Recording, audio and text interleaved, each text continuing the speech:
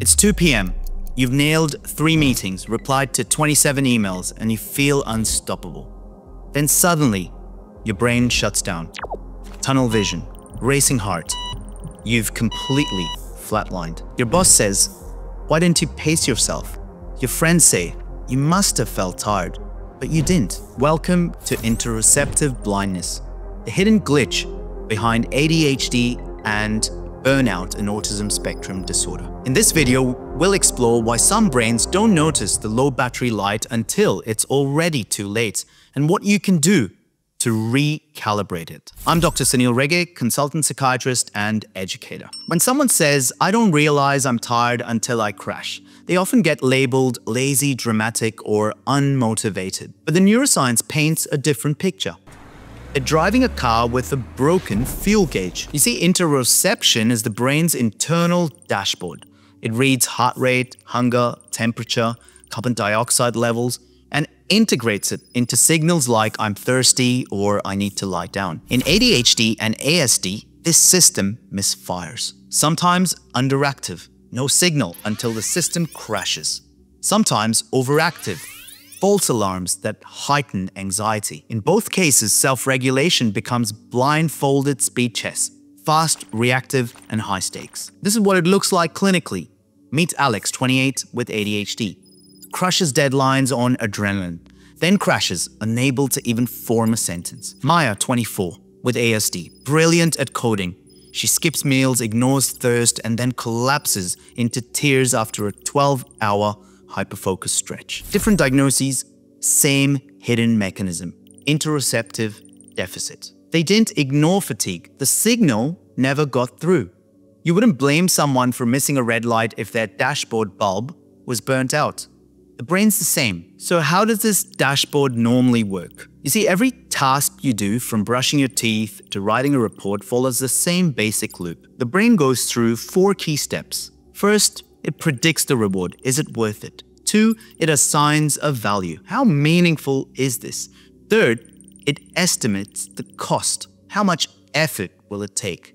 And fourth, it decides to act.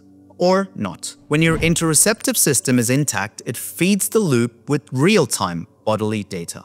Hunger, pain, exhaustion, they're all cost signals. But in ADHD and autism, this loop is broken. The fuel light stays off.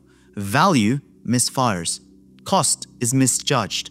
And action becomes reactive, not regulated. This is why the brain racks up what's known as performance debt. I've covered it in the video here. Let's now unpack the neurobiology behind this. First, what is the interoceptive hub? This consists of the insula and the anterior cingulate cortex. The insula collects body signals, heart rate, gut activity, oxygen levels. The ACC, or anterior cingulate cortex, decides what to do with that information. Should I slow down? Should I push? In ADHD, studies show underactivity in these regions during body awareness tasks.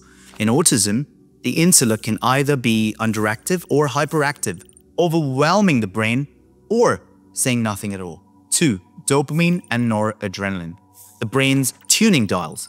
Dopamine helps you notice what matters by predicting reward and error. Noradrenaline sets the arousal levels, helping the brain wake up to incoming information. In ADHD, basic dopamine is often weak, meaning the brain doesn't notice or learn from small internal changes, so the dashboard signal feels fuzzy or delayed. Third, predictive coding and free energy. If you love Carl Friston's free energy principle, which I've covered here, you'll know that your brain is a prediction machine. Interoception compares predicted bodily state versus the actual state.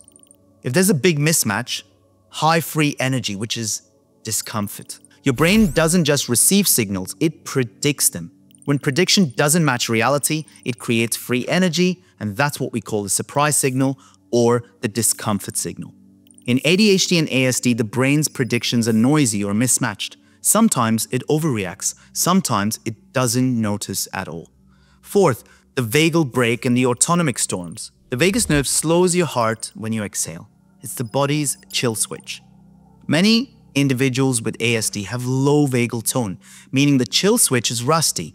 And that's also because their amygdala is operating on overdrive. You see, without that brake, arousal builds until the brain slams into fight, flight, or freeze. This also explains why sensory stimulation is so heightened in ASD. So what does this mean in real life? First, burnout. Micro fatigue goes unregistered. People push and push until they collapse. This is why there are high rates of ME/CFS and long COVID in individuals with ADHD and ASD. As part of burnout, cortisol rhythms flatten. The body loses its ability to bounce back. 2. Alexithymia. Without clear body signals, emotions blur. It becomes hard to tell the difference between tired, sad, angry, or hungry. Individuals find it difficult to name their emotions. Third, meltdowns and shutdowns. Here, there's a long silence followed by a sudden overload. Or the brain perceives emergency and shuts down higher thinking. Some explode, others freeze. So what do we do about it? Here's how we start fixing the gauge. There are four levels. Level one, sense. Bottom up awareness. Here we can use breath body scans. Scan your body from feet to head. Notice the tension. Carbon dioxide drills. Breathe through a straw for 30 seconds. Notice what changes. Other breathing techniques such as box breathing can be used, or physiological sighs. Wearables, HRV monitors give external feedback. Sensory tools, weighted blankets, pressure mats, or even firm hugs raise awareness through proprioception, touch. Level 2. Label. Build the emotional vocabulary. Use emotion wheel or flashcards. Log three body sensations and name the emotion. Repeat this daily. There are apps that can guide emotional recognition over time. Level 3. Regulate. This is about active control. Here, pharmacology plays a part.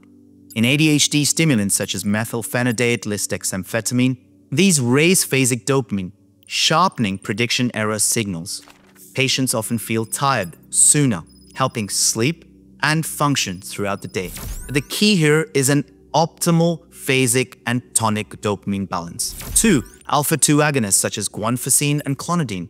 These can dampen hyperarousal spikes or provide the prefrontal cortex with better control over the limbic area. SSRIs can be used in ASD anxiety because they reduce baseline anxiety and therefore prevent hyperreactive false alarms. But it's important to reach the right dose. Somatic tools, box breathing, paced exhale, Valsalva hold to engage the vagal brake within 30 seconds. Biofeedback or neurofeedback. HRV guided breathing. Patients learn to nudge the parasympathetic switch.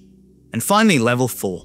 This is about prevention, a macro strategy. Options include pacing frameworks, the Pomodoro with mandatory interoceptive check ins.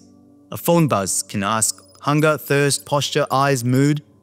Rate it. Next, sleep architecture. Ensure that when the stimulant come down occurs, one enters into blue light filters, shutting down the phone, or melatonin may also be useful for some individuals. Addressing inflammation, optimal diet and exercise. Here, omega-3 fatty acids, anti-inflammatory diets, looking after the gut-brain axis, all of this can provide a good foundation. Finally, community and coaching. Working with the people around you. This may include therapists, but also individuals at home. Think of it as sense, label, regulate, and prevent. Miss one link and the chain snaps. So you can test your dashboard tonight with three simple tasks. Remember, as you use this, the goal isn't hypervigilance, it's balance. Too much interoception can be overwhelming. Too little leaves you burnt out. So these exercises help calibrate, not control your internal signals. First, pulse pause. Once an hour, pause and feel your heartbeat for 10 seconds. Is it faster or slower than expected? The point isn't precision, it's simply tuning into a signal we often overlook. 2. Thirst tally. Every time you take a sip of water, drop a coin or paperclip into a jar. At the end of the day, reflect. Did you respond to thirst or forget until prompted? Now you can use this with any other behaviors as well. This reveals gaps in signal recognition, not willpower. Third, exhale reset. Try this once before bed. Breathe in for four counts, out for eight, and do this five times. Notice whether your body relaxes during the long exhale. This isn't a score, it's feedback. A calm shift suggests your vagal system is online. So let's zoom out and summarize this. In ADHD and autism, the body whispers, but the brain doesn't hear it. It's already in shutdown mode. But interoception can be trained, the dashboard can be repaired, and meltdowns can become signals, not surprises. So if this video shifted your perspective, hit the like button and subscribe to our channel. Share this with someone that needs it. I'm Dr. Sanil Rege, and I look forward to seeing you in the next video. Until then, stay curious. Bye-bye.